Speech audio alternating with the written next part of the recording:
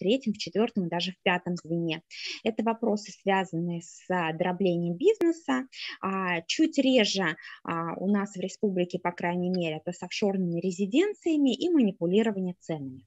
Что касается офшорных резиденций, то здесь у нас отдельное законодательство, которое регулирует вопросы непосредственно а, взаимоотношений, да, и здесь действуют специальные антиуклонительные нормы. А если говорить о контрагентах, дроблении бизнеса и манипулировании ценами, то здесь работают антиуклонительная норма, статья 54.1. А детально об этой статье мы уже однажды рассказывали, да, кто смотрел наш, а, по-моему, первый интенсив, мы как раз рассказывали о том, на что же сейчас делают налоговые органы акцент а, при проверке предприятий, при проведении предпроверочного анализа, какую информацию они анализируют для того, чтобы вменить контрагенту ту или иную информацию, а, тот или иной доначисление. Вообще понятия, а, связанные с антиуклонительными нормами, они основаны на получении предпринимателями необоснованной налоговой выгоды.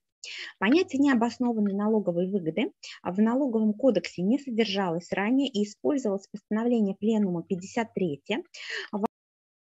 баз, да, на которые налоговые органы ссылались в свою сторону, налогоплательщики в свою сторону. И вот на сегодняшний день уже статья 54.1, она также трактуется налоговыми органами по-своему, налогоплательщики трактуют те или иные положения в свою сторону, и поэтому 10 марта 2021 года вышло письмо Федеральной налоговой службы, а, которое как раз-таки детализирует информацию статьи 54.1, и там содержится большой пул информации относительно дробления бизнеса, как же его проверять, а, как доказывать дробление бизнеса, да, то есть в статье, ой, в письме ФНС от 10 марта буквально по косточкам разобрана а, процедура проведения проверки в отношении а, предпринимателей, которым меняется искусственное дробление бизнеса.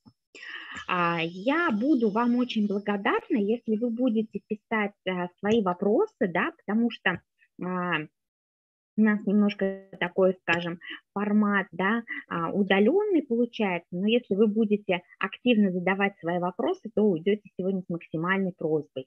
А те, кто будет смотреть записи, вы также можете писать свои вопросы да, а, для того, чтобы получить на них ответы, естественно. Я думаю, что общественная приемная их обработает и в кратчайшие сроки а, даст вам развернутые ответы. Я тоже могу подключиться к этому вопросу. Что касается дробления бизнеса. Вообще теория дробления бизнеса, она, скажем так, а, существовала давно. На практике она была реализована также, но до 2017 года не существовало каких-то инструментов в налоговом кодексе, а, не существовало никакой информации в части а, методических рекомендаций, писем Минфина, Федеральной налоговой службы относительно того, что же такое дробление, когда соответственно, а, разделение бизнеса можно квалифицировать как дробление бизнеса, да, то есть а, с чем вообще его едят. На самом деле первое дело о дроблении а, было в 2009 году, дело связано с молочным заводом, но здесь дробление было скажем так, косвенно вменялось, здесь ключевым фактором было доначисление единого, единого социального налога. Да, то есть до страховых взносов у нас был единый социальный налог, и а, в этом конкретном кейсе молочный завод использовал а, предпри... А, дополнительно предприятие по давальческой схеме, которое занималось обработкой молока, предприятие, которое предоставляло персонал в, скажем так, в найм, да, это аутстаффинг, который на сегодняшний день у нас законодательно запрещен для всех, только для обособленных предприятий, которые имеют на это право. Вот. И тогда это предприятие уменьшило уменьшила единый социальный налог а, путем а, использования вот этой а, скрытой схемы давальческой на документах когда по факту никакого разделения не было, и, кроме того, непосредственно а, сокращение налога на прибыль. А если говорить о, о том, что же произошло и что изменилось за промежуток с 2009 до 2017 года, была наработана значительная арбитражная практика, и кроме того были проанализированы налоговыми органами различные рекомендации, скажем так, вот налоговых Копперфильдов, да, которые а, предоставляли а, скажем так, а, бизнесу рекомендации по разделению бизнеса. На самом деле, вот один общеизвестный налоговый такой Копперфильд, а, он рекомендовал вот схему бизнеса, разделение одну для всех, примерно идентичную, а, и а, у него есть такая толстая методичка, и налоговая просто переписала эту толстую методичку в своем письме 2017 года. И в августе 2017 года в свет вышло письмо Федеральной налоговой службы, которое раскрывало признаки дробления бизнеса с анализом арбитражной практики непосредственно. Что же вообще такое дробление бизнеса? Когда у одного предпринимателя условно несколько бизнесов, а, разделение которых было направлено на то, чтобы не платить налоги или уменьшить налоговую нагрузку. Например, у одного предпринимателя есть два предприятия. А, одно, он занимается торговлей, одно предприятие занимается оптовой торговлей, другое занимается розничной торговлей, либо, а, скажем так, это торговля оптовая для предприятий, которые а, не требуют НДС. А когда была массовая зачистка, соответственно, массовых а, директоров и учредителей, налоговые органы вызывали к, к себе таких вот лиц, и задавали вопрос, почему у вас а, зарегистрированы два предприятия, для чего вам два предприятия, которые занимаются там торговлей, не знаю, строительных материалов, да, а, и многие предприниматели говорили, мне нужно два, потому что одно у меня предприятие с НДС, а, и я продаю тем, кому нужно с предприятия с НДС, а другое у меня предприятие а, без НДС. И я, соответственно, продаю тем покупателям, которым НДС не нужно. А вот в этом разделении налоговые органы а, видят, в принципе, имеет место быть разделение с целью ухода от уплаты НДС, да, с целью получения необоснованной налоговой выгоды. Потому что если бы предприятие действовало как одно единое целое, то в этом контексте а, та часть, которая сейчас не облагается НДС, а подлежит обложению по специальному налоговому режиму, скорее всего, она бы могла облагаться НДС. И в данном случае налоговый орган это теряет, этот налог. Да? А кроме того, очень часто используются схемы, связанные с использованием давальческой схемы, выделением различных обрабатывающих производств. А, есть также выделение а, управляющих компаний, хранителей активов, да, то есть это а, все, что делается целенаправленно для того, чтобы уменьшить налоговую нагрузку. Но, да, надо заметить, что, естественно, бизнес, он предполагает иногда свое, в своем существовании некое структурирование. И здесь достаточно такая тонкая грань между искусственным дроблением и структурированием бизнеса. Если говорить о крупных инвесторах, да, например, а, естественно, у них бывает несколько видов бизнеса, а, зачастую, может быть, связанных, а иногда совершенно не связанных между собой. И, естественно, это подразумевает наличие нескольких юридических лиц там, или образование а, индивидуальных предпринимателей без образования юридического лица которые занимаются тем или иным направлением. А если а, в этом есть логика, а, которая обоснована с точки зрения получения экономического эффекта не в виде налоговой выгоды, то, естественно, это обосновано. Вот то же самое, скажем так, разделение, когда предприятие действительно занимается общественной и розничной, о, общественной, когда предприятие занимается непосредственно оптовой и розничной торговлей. И а, в случае, если предприниматель занимается оптовой торговлей, и у него настроен канал продаж, сбыта, закуп на оптовую торговлю, а, система KPI сотрудников, система администрирования, да, отдельно работает юридический отдел, который согласовывает заключение сделок, контрактов дорогостоящих, то есть выстроена отдельная система, а для розничной сети требуется, наоборот, нагонять больше поток клиентов, тут не до юридического сопровождения, да, тут больше работает маркетинг, они нацелены на то, чтобы обеспечить трафик, да, для вот в этот магазинчик, для того, чтобы увеличить объем продаж. Если у вас а, действительно вот это разделение обосновано экономическим эффектом вашего бизнеса, да, то есть получением экономической выгоды, а, а, деловой целью, целесообразностью организации бизнеса, то это не будет являться искусственным дроблением. Поэтому, когда говорят об искусственном дроблении, всегда подразумевается совокупность нескольких факторов. То есть нельзя сказать, что если вы разделили один там а, производственный цикл, или вот как в прошлом а, нашем вебинаре задавались вопросом, да, если непосредственно мы работаем под одной вывеской, но работаем в рамках франшизы, является это дроблением бизнеса или нет? Вот нельзя сказать о том, что это дробление бизнеса только по одному признаку. А если в вопросах анализа фирм с скажем так, нехорошей репутацией, да, фирма однодневок, а, работает система СК НДС и видит был ли уплачен НДС, как осуществлялась поставка, а, как осуществлялись расчеты, да, то есть там достаточно все просто. В вопросах дробления налоговым органам, а, естественно, нужно приложить немало аналитического ума при проведении предпроверочного анализа а, для того, чтобы все-таки выступить с инициативой проведения выездной налоговой проверки в части дробления бизнеса потому что нужно проанализировать ряд факторов. И вот первое письмо, которое а, перечисляло те признаки, которые относятся к признакам искусственного дробления бизнеса, это письмо от 11 августа 2017 года, в котором перечислялись признаки. Да? Сейчас вы на слайде их можете видеть. А далее мы с вами сегодня более детально разберем каждый признак, я постараюсь максимально раскрыть эту информацию. Если вы в своем структурировании бизнеса видите те или иные риски, которые присущи, может быть, вам и, а, или налоговая, там еще кто-то задает вам вопросы относительно искусственного дробления, то вы, соответственно, можете их задать написать.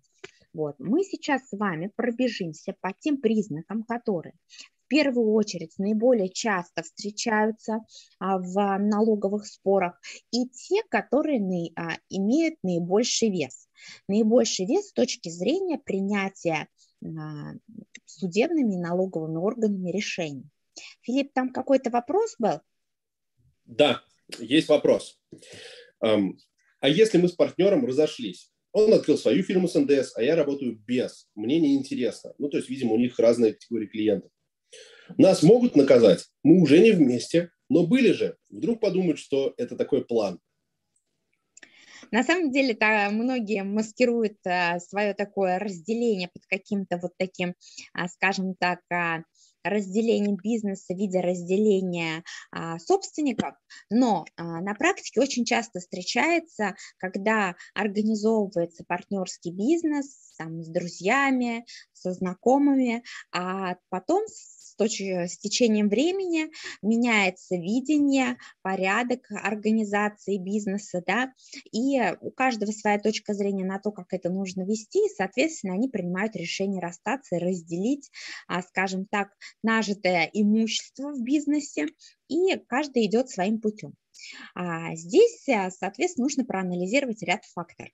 Если а, вы разделились и действительно разделились, да, то есть нужно посмотреть, как у вас произошло вот это разделение, куда, а, как разделилось имущество, как вы передавали остатки, как осуществились расчеты при разделении этого имущества. Кроме того, нужно обосновать, что а, теперь вот один из учредителей не влезает в дела другого предприятия, то есть, да, Там, соответственно, все сотрудники знают, что они получают распоряжение от иного лица.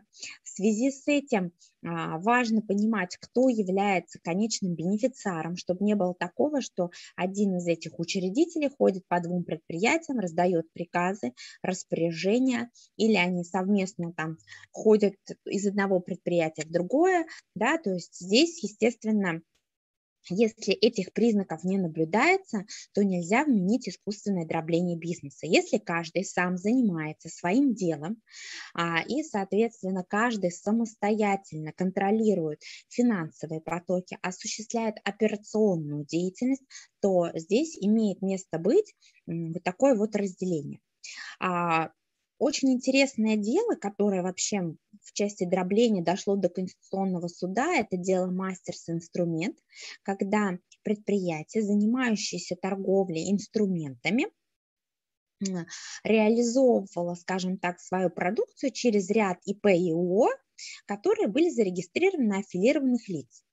И до 2020 года была такая практика, что если бизнес зарегистрирован на аффилированных лиц, на там, супругу и супруга, на а, детей, родителей, на а, каких-то бизнес-партнеров, да, то это являлось непосредственно наиболее таким существенным признаком, подтверждающим, что у вас здесь а, искусственное разделение.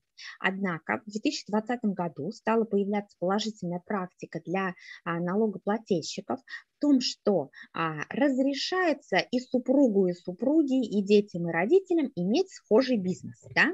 То есть так же, как вот вы со своим деловым партнером, вы можете иметь схожий бизнес, но а финансовые операционные потоки не должны пересекаться. То есть у вас не должно быть беспроцентных займов каких-то туда-сюда, один произвел оплату за другого, у одного кассовый разрыв, а у другого генерируется вся выручка. А, в операционном управлении принимает каждый самостоятельно да, решение, и сотрудники действительно это знают. Если у вас это происходит таким образом, то, соответственно, вам вменить искусственное дробление а, нельзя. Если же вот аффилированность наблюдается в таком ключе, то а, здесь очень такой может быть рисковый момент. Вот, я надеюсь, что я подробно ответила на ваш вопрос. Да, да, и у нас появился дополнительный вопрос. А если с партнером у нас есть бизнес, я замутил свой, в скобочках, у нас конфликты по управлению, и я зарабатываю с обеих фирм, а партнер только с одной. Это разве дробление? Ну, а здесь, во-первых, нужно смотреть, что у вас за бизнес, да, если они у вас одинаковые, да, то есть, э, ну, не знаю, вы занимаетесь строительством совместно в одном предприятии, а в другом вы дополнительно еще что-то строите, да, а, то тут нужно смотреть, опять-таки, анализировать, а, как осуществляется управление, кто осуществляет это операционное управление, как, кто является конечным бенефициаром, как а, взаимосвязаны, как осуществляются контакты между этими двумя предприятиями. А, такой самый любимый признак налоговых органов, кто отправляет отчетность, я более детально расскажу об этом, потому что сейчас это не ключевой фактор. Да? Вообще, если до 2018, даже 2017 года акт акты налоговых а, проверок пестрили почерковическими экспертизами, да, а, то в 2017 году вышло письмо, статья 54.1, которая сказала о том, что неважно, кто подписал первичный документ, это не является одним из существенных признаков да, а, совершения операции с недобросовестным контрагентом, признания ее с целью получения необоснованной налоговой выгоды. Так вот, с 2017 года в 2018 году акты налоговых проверок стали пестрить IP и MAC-адресами. Мы об этом с вами чуть дальше более детально поговорим. Вот, поэтому вот в этом ключе, если у вас один бизнес совместный, а один свой, если они совершенно разные, да, то есть направление деятельности, тут проблем нет. Если они а, с идентичным видом деятельности, то тут нужно, конечно, покопаться по структуре, посмотреть, что у вас там внутри, как организовано. Вот, я думаю, что я ответила, да, на этот вопрос.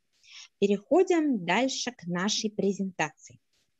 Ответили, а... я пока с вами взаимодействую, написал сообщение жене, что больше никаких беспроцентных займов, когда ей понадобится помощь, будет теперь мне платить. Да, вот а, здесь такая ходят. Ну, на самом деле, очень часто организации, которым а, свойственно искусственное дробление бизнеса, они любят а, отправлять беспроцентные займы, вот, и, соответственно, налоговая задает вопрос, а почему вот эти организации не раздают эти беспроцентные займы всем, да, почему они выдают только этой организации? Если здесь отношения между супругами, а в, в части дробления бизнеса очень часто ставят такой вопрос, что, например, на супругов зарегистрирован совместный там одинаковый бизнес, да, то есть у него и у нее там, я не знаю, розничные магазины по продаже какой-то одинаковой продукции. И вот раньше это прям вот считалось дробление-дробление. А сейчас суды пересмотрели свою позицию и говорят, что если эти фирмы функционируют на рыночных отношениях, то, соответственно, как бы ничего страшного. Кроме того, здесь нужно смотреть еще наличие брачных, наличие брачных контрактов, да, и как это а, урегулировано в брачном контракте, если он есть, если есть разделение имущества какое-то. На самом деле очень интересная еще практика супругами а, в части разводов. А, есть достаточно большое количество дел, когда разводы были признаны фиктивными с целью, скажем так, получения необоснованной налоговой выгоды или вывода имущества. То есть такая практика тоже есть. Поэтому вот, Филипп, да, здесь э, правильно, с супругой нужно выстраивать теперь рыночные отношения, когда распределяется вопрос, касается финансов потому что он может кого-то заинтересовать, даже такие внутренние семейные дела. Так вот, если мы говорим о дроблении бизнеса, то очень часто а, налоговый орган а, должен доказать не просто а, перечислить эти признаки, а доказать взаимозависимость, подконтрольность и согласованность действий, направленных на неуплату налогов. А, лица могут быть взаимозависимыми, да, это могут быть бывшие партнеры, это могут быть отношения сотрудник-работодатель, а, это могут быть отношения там иные родственные, да, а, Здесь дальше следует анализировать вопрос подконтрольности. Вот эти лица, да, которые мы сейчас перечислили, да, они аффилированные, взаимозависимые, но они подконтрольны кому-то одному или нет. Если доказывается подконтрольность через те или иные действия, то это одно дело. Если соответственность, подконтрольность не, доклад, э, не доказывается, то это уже другой исход ситуации. И кроме того, важно доказывать согласованность действий, направленных на неуплату налогов, что действительно вы вот разделили два бизнеса таким образом, чтобы а, получить необоснованную налоговую выгоду, чтобы сэкономить на налогах. Если а, цель разделения иная, например, там, получение какого-то экономического эффекта, что один разбирается в одном вопросе, другой в, в другом вопросе, что кому-то нравится работать с госконтрактами, кто-то работает, например, там, а, с коммерческим сектором, с частным сектором, да, вот в этих вопросах, естественно, важно, как, а, ну, с какой целью было вот это, скажем так, структурирование, разделение, вообще история образования этого бизнеса. А, в прошлый раз я уже затрагивала эту тему. А, очень часто доказать разделение бизнеса можно, проанализировав, как а, организовано рабочее место, рабочее пространство, производственный цикл на предприятии. И для того, чтобы доказать дробление бизнеса, искусственное дробление бизнеса, налоговые органы прибегают к внезапной выемке. И а, теперь, а, соответственно, если говорить о том, что а, при проведении выездных налоговых проверок, проверок, проверках в основном в при проведении проверок по а, нехорошим контрагентам не использовался принцип внезапности, очень часто вручение решения о проведении выездной налоговой проверки и осмотр помещений для проведения проверки по дроблению бизнеса проходит одномоментно. Да? То есть приходится, вручается решение о проведении осмотра, о выемке для того, чтобы а, налогоплательщик или лицо, которое подозревается в искусственном дроблении бизнеса, оно не было привлечено, а, оно не смогло, вернее, а, как-то скрыть те или иные документы или фактически обстоятельства. Потому что очень часто дробление бизнеса хорошо оформлено документально, но когда приходят налоговые органы или органы там УБЭП а, на место и анализируют, каким же образом организовано производство, каким образом передаются материалы, где хранятся материалы, как организовано складское хранение, да, Естественно, если здесь искусственное дробление а, и оно имеет только формальный документооборот, то на практике достаточно часто фиксируется непосредственно вот а, нарушений законодательства в этом вопросе.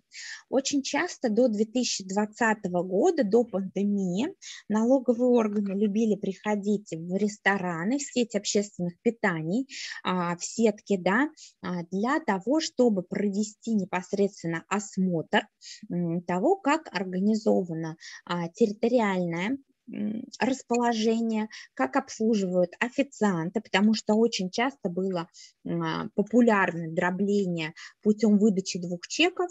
А, условно в ресторане выдается два чека, один за бар, другой за кухню, там а, кухня или бар были на спецрежиме и, соответственно, использовали там ЕНВД в то время, да, когда его можно было использовать, а другой использовал упрощенную систему налогообложения. Таким образом, они минимизировали свою налоговую нагрузку. Хотя один и тот же официант обслуживает посетителя, одна и та же площадь, территория, да, то есть вот а, и налоговые органы при осмотре, соответственно, фиксировали, как вот это все организовано, анализировали системы Айка, да, например, если есть там, а, как они выглядят, как куда вбиваются заказы, как распределяются, они передаются. То есть это вот а, было очень характерно для а, ресторанов, для сети общественного питания. Поэтому принцип внезапности в а, анализе дробления бизнеса имеет место быть и очень даже популярен. А, естественно, вот а, у нас много вопросов касается того, как вот доказать, что у меня дробление, оно не искусственное. А в соответствии анализ арбитражной практики писем, а, писем ФНС а, показывает, подтверждает, что в делах о дроблении бизнеса ключевое вам необходимо доказать три фактора. Первое – это самостоятельность каждой бизнес-единицы. Второе – наличие деловой цели, не налоговые выгоды, да, то есть вот вы разделились, потому что в результате вот этого разделения у вас каким-то образом выстраиваются оптимально а, торговые потоки, заключение контрактов, осуществление деятельности, процессы ускоряются, а, ну и вообще бизнес а, заново оживает и начинает дышать по-свежему, да, скажем так, в результате того, что произошло разделение, вы демонстрируете после этого какой-то рост. И а, кроме того, что есть реальное разделение, потому что, вот как мы с вами говорили, при внезапном осмотре подтвердить реальность разделения, это вот как два пальца щелкнуть, потому что очень часто а, это разделение, оно имеет место быть а, достаточно, скажем так, формально.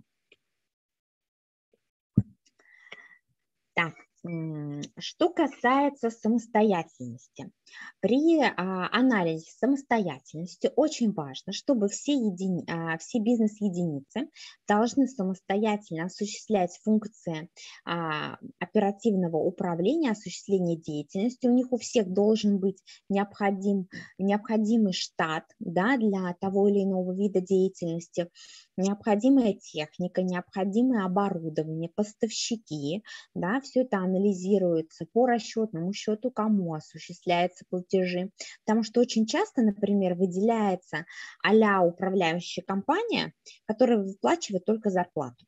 Эта управляющая компания даже не приобретает констовары, не приобретает компьютеры, не приобретает там технику и иные расходы. Вот из всех расходов у нее бывает а, аренда и сотрудники, и все, иных расходов нет.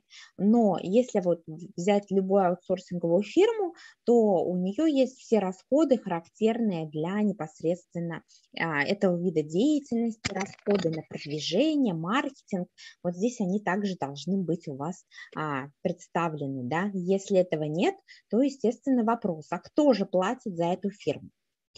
А, разные виды деятельности должны быть характерны. Если у вас пересекающиеся виды деятельности, то нужно, соответственно, обосновывать, почему вот такое вот у вас а, разделение одного вида деятельности на несколько обществ, да, то есть тут должна быть либо география разделения, либо действительно какой-то эффект, связанный с конкретным видом деятельности, с подразделением, либо там по продуктовой линейке вы различаетесь, по критериям покупателей, то есть это все должно быть зафиксировано. И деловая цель. Деловая цель – это не получение налоговой выгоды, да, а это оптимизация хозяйственной деятельности, снижение издержек, увеличение продаж, а, улучшение управляемости персоналом, сокращение затрат на а, кадровое да, содержание, расширение рынка сбыта, получение прибыли и а, снижение предпринимательских рисков. Да, в частности, вот а, было одно дело, которое очень было интересно, оно дошло до Верховного суда, когда индивидуальный предприниматель был выделен в качестве отдельной а, бизнес-единицы, скажем так, а, где хранил а, свои активы. Да? То есть этот индивидуальный предприниматель выступал хранителем активов. И когда соответственно, налоговые органы задались вопросом, вообще зачем нужно вот это разделение индивидуального предпринимателя как хранителя активов, а им была представлена такая информация, что большая часть активов приобретается им в кредит и в лизинг, и, соответственно, для улучшения своего, скажем так, представления перед, организа... перед кредитными организациями, для своей визуализации, он а, минимизирует это тем, что убирает операционные риски, потому что если предприятие наибольшими операционными рисками, то ему, соответственно, дается а, займы под больший процент. И, соответственно, благодаря тому, что индивидуальный предприниматель вот так вывелся в отдельное а, в отдельную составляющую бизнес-единицу, им удается минимизировать а, кредитную нагрузку путем получения наиболее так выгодных, скажем, а, кредитных продуктов. Вот. И это дело действительно было, скажем так, интересным, знаковым, да, потому что Здесь не было целью а, уход от налогов, получение какой-то выгоды. Здесь целью было непосредственно расширение имущества, которым предприятие, осуществляющее операционную деятельность, в принципе, может распоряжаться и которым может использовать.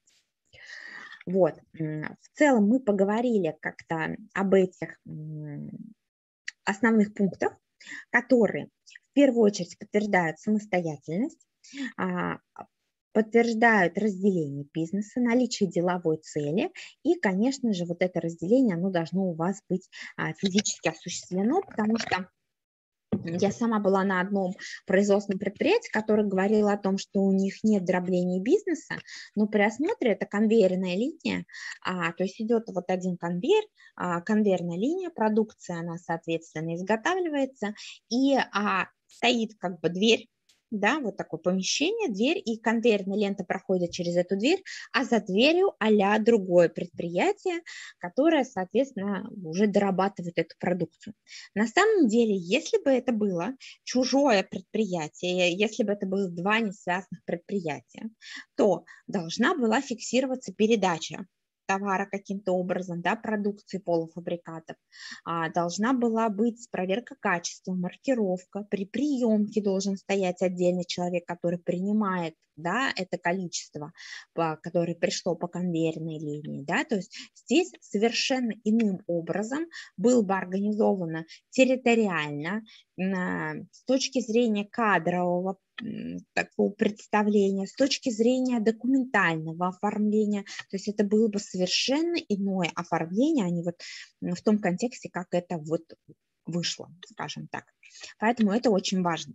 Вот, а, и если вы не знаете, дробление у вас или не дробление, вы должны себе ответить на вопросы, а самостоятельная ли каждая физическая единица, бизнес-единица, имеет ли целью а, деловая цель получения экономического эффекта, не выраженного в уменьшении налоговой нагрузки, а также как у вас физически все это представлено непосредственно, да, то есть это ключевые факторы, которые вы должны обосновать. Вот. А, и, соответственно, если вы положительно отвечаете, у вас есть обоснование под каждую причину, то это имеет место быть. Имеет место быть, что а, сотрудник ушел от работодателя, организовал там похожий бизнес, что, например, супруги решили организовать похожий бизнес, потому что а, там супруга и супруга разбираются в этом виде деятельности. Тоже место имеет там, когда у вас а, родители и дети организовывают похожие бизнесы, но здесь нужно соблюдать именно вот эти вот критерии.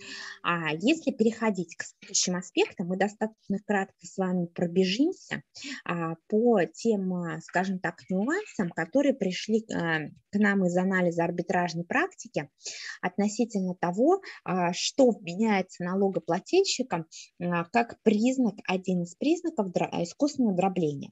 Повторюсь, что всегда нужно рассматривать совокупность факторов. В первую очередь, это, конечно, а, нет отсутствия расходов, необходимых для осуществления данного вида деятельности. Если у вас предприятие а, выделено, да, которое занимается, вот как мы говорили уже там, каким-то бухгалтерским аутсорсингом, и у вас нет расходов на содержание офиса, приобретение констоваров, приобретение интернета и прочих вот аналогичных расходов, то, естественно, здесь ставится под сомнение вопрос самостоятельности этой бизнес-единицы. Очень часто бывает, что, например, предприятие, которое занимается а, розничной торговлей, а, оно вообще не покупает ни у кого ничего, да, то есть это индивидуальный предприниматель или раньше общество на спецрежиме, которое покупает но ни за что, соответственно, не платит. А как покупает, непонятно, да, то есть оно тем самым уменьшает, если покупает у предприятия на общей системе налогообложения, а, соответственно, должны осуществляться с ним расчеты, но расчеты не осуществляются. Вот, то есть здесь должны характерные быть расходы. Филипп, был какой-то вопрос у нас или нет? Видимо, не было. А, очень часто... Нет, нет, пока что нет. Я слежу за вопросами.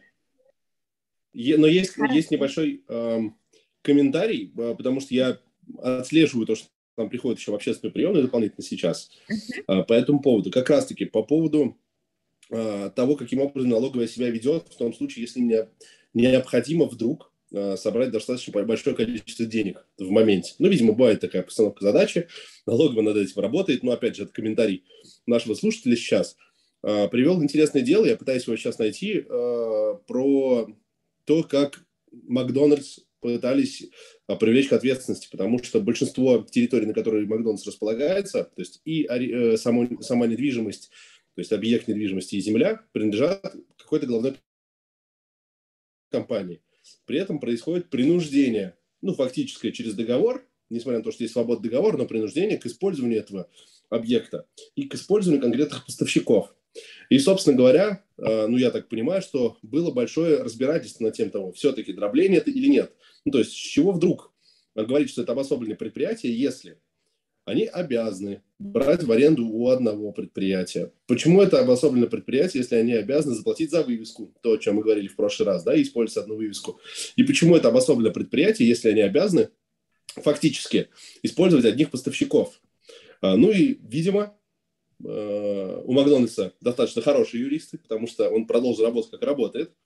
Ну и я, собственно, пытаюсь вот найти эту правовую базу, это решение суда. Может быть, вы об этом что-то слышали? Или как в этом я случае, слышала, когда нет, такие но интересно есть? было бы посмотреть. Ну Вообще вот, если я найду, обязательно скажу, да. но вот, да, у них такая модель работы. Вся недвижимость, а, собственно, которая используется Макдональдсом, то есть любыми их франчайзи, это та недвижимость, которая принадлежит головной компании. То есть они предлагают им пользоваться только тем объектом недвижимости, который они готовы за этим в аренду. Вот, собственно, мне действительно интересно, каким образом они ушли от ответственности в этом случае, почему так получилось. Я думаю, что если наши слушатели и зрители об этом узнают что-то более подробно, обязательно нам об этом напишите в чате, мы разберемся, потому что этот вопрос действительно классный. Да, потому что вопросы франшизы все всегда ссылаются на Макдональдс, как общеизвестную сеть, да, и вот а, это очень интересно, да, я тоже проанализирую после того, как у нас закончится с вами вебинар а, дело Макдональдса. Ну вот, а следующий наш а, пункт, скажем так, а, который изменяется налогоплательщикам и положен а, в, больше, в сторону больше решений, которые принимаются против налогоплательщика, это несение расходов участниками схемы друг за друга. Когда есть разделение бизнеса, и один платит за товары, которые приобретаются для другого, то есть такая наблюдается каша в финансовых потоках. Вообще для искусственного дробления бизнеса очень характерно, а, вот, а, скажем так, финансовые пересечения. И здесь налоговая, помимо того, что осматривает помещение, опрашивает сотрудников, большое внимание приводит анализу расчетного счета.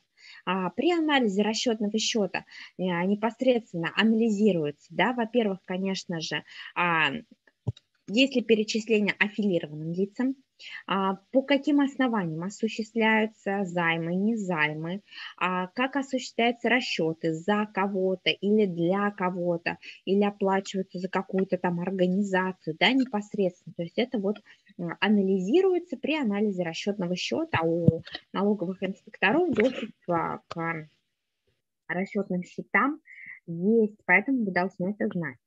А, чуть меньше упоминания, но гарантия победы налогового органа гораздо больше, это когда внутри группы осуществляются какие-то необычные виды расчетов, погашение векселей, погашение займов, да, когда уступки происходят в группе компаний, а, или переводятся долги с одного предприятия на другое, с одной бизнес-единицы на другую. То есть это очень достаточно часто распространенный признак, и, соответственно, вам нужно понимать, что если вот у вас так, то у вас искусственное дробление бизнеса, скорее всего. Когда участники схемы являются единственными поставщиками друг для друга. Когда есть одно предприятие на, соответственно, скажем так, общей системе, системе режима налогообложения, которое приобретает товар а затем передает его в обработку по давальческой схеме, и больше никого нет у них, да, то есть оно отдает все, а у того, соответственно, зачастую индивидуального предпринимателя только один заказчик, то, естественно, тут могут возникнуть вопросы к тому, а как же вообще рыночные условия, как же а, страховка от того, что а, один контрагент, и вы, соответственно, можете что-то потерять в этом случае. Судя по всему, у нас вопрос, да, Филипп? Да, есть вопрос. Э, это уже из моей практики. А, потому что мы действительно достаточно часто взаимодействуем с компаниями, которые предлагают какие-то услуги. В последнее время достаточно популярная услуга – отдел продаж. А, собственно, есть компания, которая готова продавать мой товар или мою услугу. И некоторые из этих компаний предлагают следующую схему. Они совершают продажу моего товара, получают деньги к себе на расчетный счет, ну, потому что они Э, боятся, что мы начнем работать с их партнерами или там с их покупателями напрямую, выплачивают мне, ну я вот такой вариант вам рассказываю, или там выплачивают конкретному производителю э, какую-то сумму и, собственно говоря, оставляют у себя комиссию, существенную комиссию, доходит до 50% от стоимости. Вот последний, э, последний случай, который я рассматривал, э, таким образом помогали приобретать слож, ну, технически сложное оборудование, компьютеры. Ну и, собственно говоря, а, покупатель приобретал компьютер за 500 тысяч рублей, производитель этот компьютер передавал агенту за 200 тысяч рублей, и агент 300 тысяч рублей в качестве своей комиссии себе оставлял. Вот в этом случае не будет ли это проблемой? И потому что для э, того, кто производит собственно говоря, производитель, да, он специально нанял этого агента, чтобы он ему продавал. Он не хочет этим заниматься. Это старое предприятие, пережитых э, ну, Советского Союза, они не умеют продавать. И они нашли для себя классный вариант, Они вот работают с одним поставщиком. Или еще один пример – сахарные заводы. Большая часть сахарных заводов в нашей стране работают через одного или там через, может быть, двух а, своих дилеров, которые выкупают весь объем, а затем распространяют по маленьким партиям кому-то еще. Как они это обуславливают? Ну, почему так вообще сложилась история? Потому что кто-то хочет купить сахар, обращается на завод, а ему говорят, не проблема, давай на 20 миллионов покупай сахара. А я думаю, что на 20 миллионов сахара это как будто бы целый пляж. Ну, собственно говоря, мало кто захочет работать на таких условиях, а заводу неинтересно. Что делать в этой ситуации? Здесь вопрос не дробления бизнеса, здесь вопрос непосредственно ценообразования, да, то есть это а, продажа по, скажем так, вот такой вот цене. Ее можно рассмотреть как а, дробление бизнеса с точки зрения использования схемы по оптимизации. Здесь будет работать антиуклонительная норма, также статья 54.1. Если эти операции осуществляются сделки меж, не между контролируемыми лицами и не встает вопрос использования использовании трансферного ценообразования, то тут будет вопрос рыночности отношений включаться. И если действительно закупается, ну, удастся доказать, что закуп происходит, а, и завод всем предоставляет вот по 200 тысяч да, компьютеры, а то и там сахар по соответствующей цене, а цена на рынке за этот компьютер может быть оценена действительно как в 500 тысяч, а, то здесь как бы проблем не должно быть, потому что а, я знаю, на практике очень часто встречается, когда агенты берут очень хорошее вознаграждение, особенно за какие-то сложные сделки, да, вот, здесь а, включается вопрос, еще подключаются оценщики, то есть как доказательство в суде и в налоговом оспаривании, налогоплательщик налогоплательщик может предъявлять отчет оценщика, который, естественно, будет раскрывать рыночную стоимость а, сделки. И вот здесь будет а, вопрос, касающийся а, именно ценообразования, потому что как таковая схема по вот, агентированию, она здесь вряд ли будет характерна теми признаками, которые характерны для дробления бизнеса. Если же она будет характерна, одинаковые IP-адреса отправки отчетности, MAC-адреса, да, ID телефонов, с которых согласовываются платежи, тогда да, здесь можно будет да, привязать дробление бизнеса. Если этого нет, то тогда здесь вот будет включаться вопрос ценообразования и контроля а, уровня рыночности цен в рамках выездной налоговой проверки, если это не контролируемые лица и не трансферное ценообразование. Вот Думаю так, Филипп. Я кратко расскажу, да, продолжу дальше, чтобы у нас осталось очень мало времени. А следующий признак – это произвольное движение товара в группе.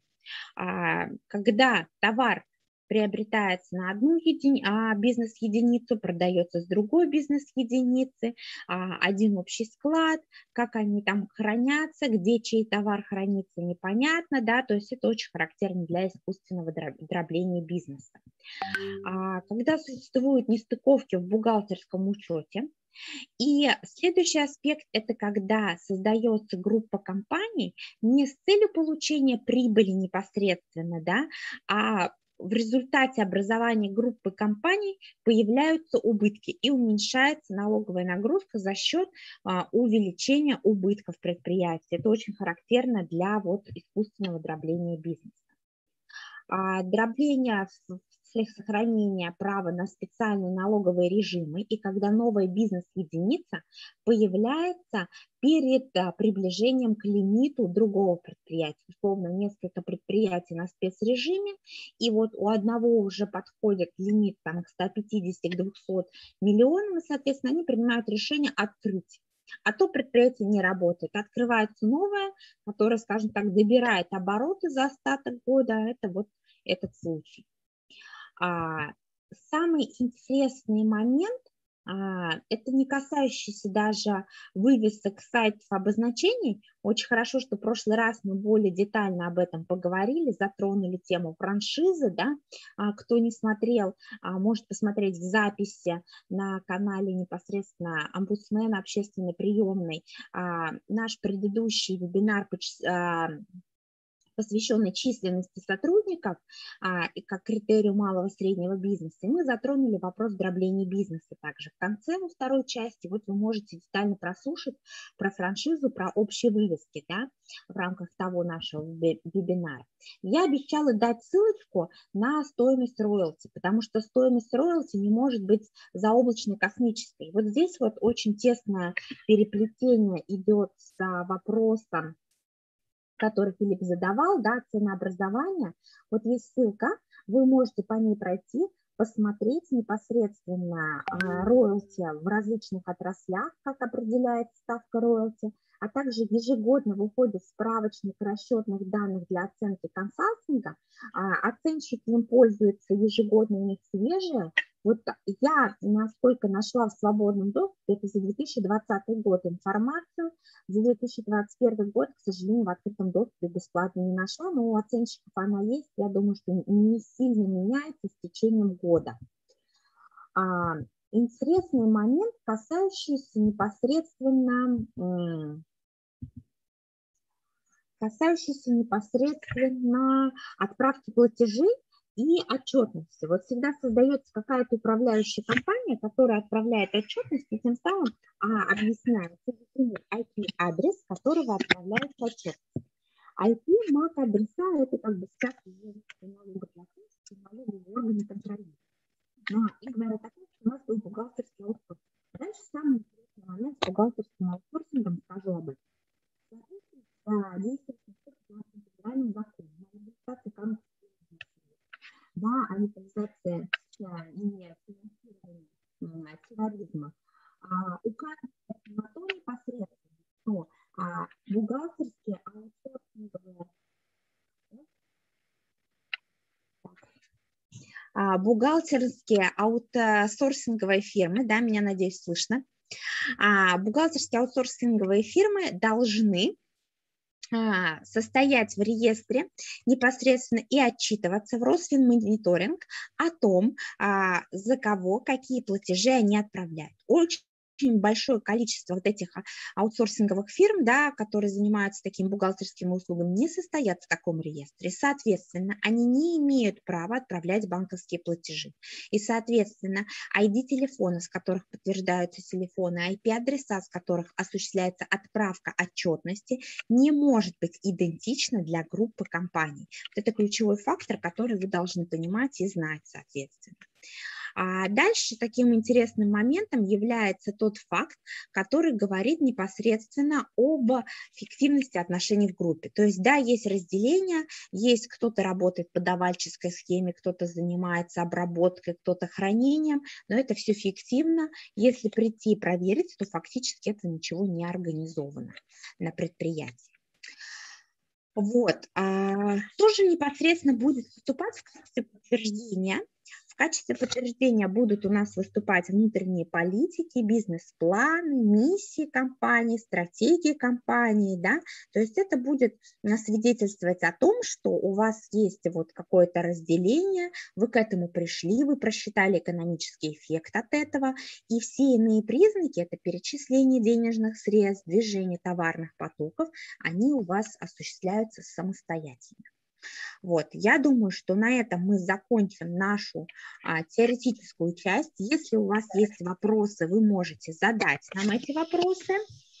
Вот, ну, вроде бы в чате ничего нету, да, пока, Филипп?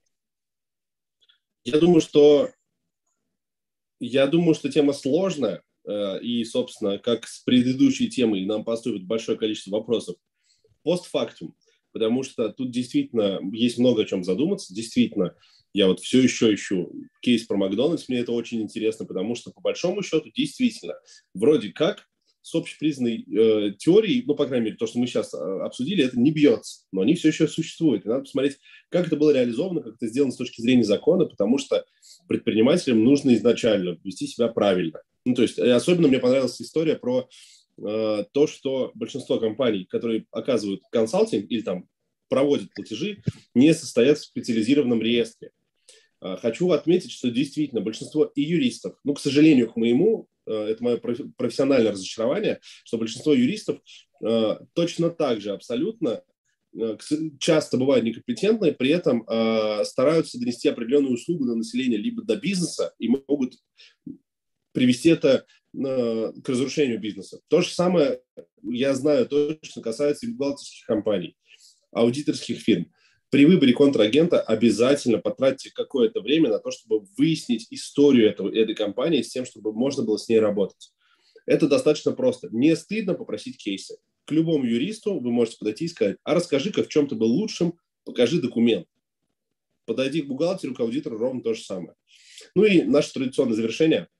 А, как мы знаем, что многие люди начинают смотреть, собственно, наши выпуски с конца, поэтому топ-3 советов за весь наш сегодняшний разговор.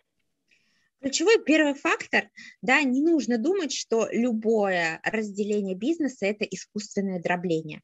Да, некоторое разделение структурирования может быть вызвано экономической целесообразностью, но а, здесь оно должно подтверждаться. И поэтому первый фактор, а, если у вас несколько предприятий, это не значит, что они обязательно у вас а, скажем так, организованы с целью получения необоснованной налоговой выгоды, и это искусственное дробление бизнеса.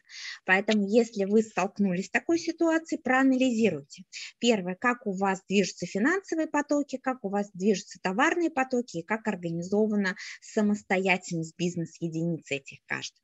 Второй аспект – это, естественно, нужно держать руку на пульсе, нужно анализировать арбитражную практику, смотреть письма налоговых органов, быть подписанными на телеграм-канал «Деловорот», в частности, также у аудиторской фирмы «Палладиум» есть свой канал, где вы можете отслеживать всю информацию о тенденциях в области налогообложения и права непосредственно. Это очень важный аспект.